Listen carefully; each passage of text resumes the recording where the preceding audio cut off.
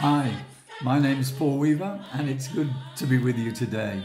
And yes, you were listening to one of the hit songs from the 1992 film Sister Act called My God.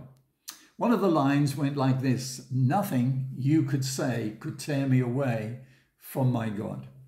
I don't know what your God is like, and if there is anything or anyone that could tear you away from Him. I do know, however, what my God is like. And I would love to be able to share just for a little while something about my God. But before we do that, I'd like to read Paul's account of his God. This is what he says My God will supply all your needs according to his riches in Christ Jesus. I know my God personally. Like Paul the Apostle, I can call him my God. Christianity is really about that. It's about a personal relationship with God. My God, our Father. The Christian doesn't just know about God, they know God. They do, that does not mean they know everything about God, of course, but it does mean that they know Him personally. My encounter with God began way back in 1952 when I was just seven years old. It was a special night when I realized that God was real and I could know him through his son, Jesus Christ. There and then, in a small service in a very little church on the outskirts of Birmingham, I gave my life to God and to the journey of walking with him. I have never for one moment regretted that decision. My relationship with God, of course, today is quite different in my knowledge of Him through the many experiences of life. But that relationship operates on the same simple principle of faith that as a child I accepted when I first put my hand in His. When you know someone, you discover the value of having them in your life.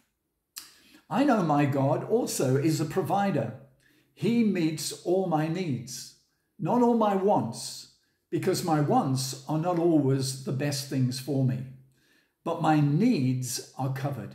His provision is guaranteed and acts as a safety net of care that stops me falling below the need level.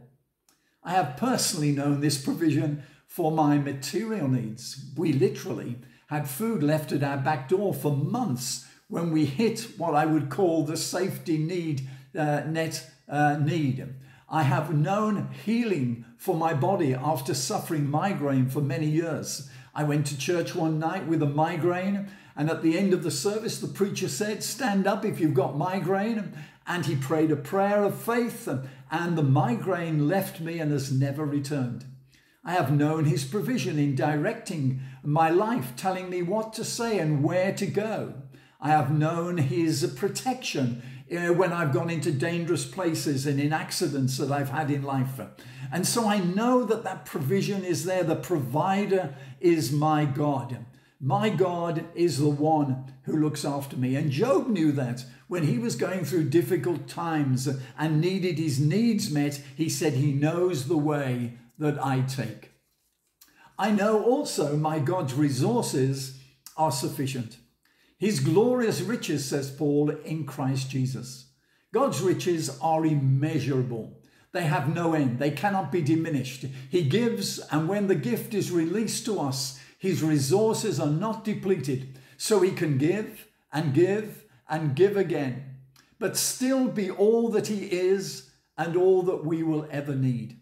My God's resources are not limited to the time zone, but are eternal in Christ Jesus. He gives to me today, but He will be there tomorrow with His faithful outstretched arms towards me in love. And when time is no more, He will have clothed me with a new body for my eternal dwelling. My God holds the universe in his power. When scientists are trying to understand how our world came about and governments are trying to face the great challenges of the green issues, my God has already planned the creation of a new heaven and a new earth. What is your God like? A human superstar, wealth, sport, self, or maybe a person you've read about in history, or a figure in the history of your religion. Do any of these gods know you? Do they watch over your welfare? Uh, do they have all the answers to your needs? Can you for, can they forgive your sin? Can they provide hope for your future? Can they give you life eternal?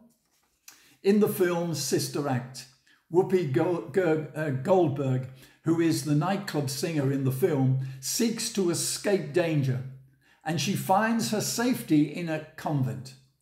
In teaching the nuns a song from her past, she changes just one word in the lyrics. The word is changed from Guy to God.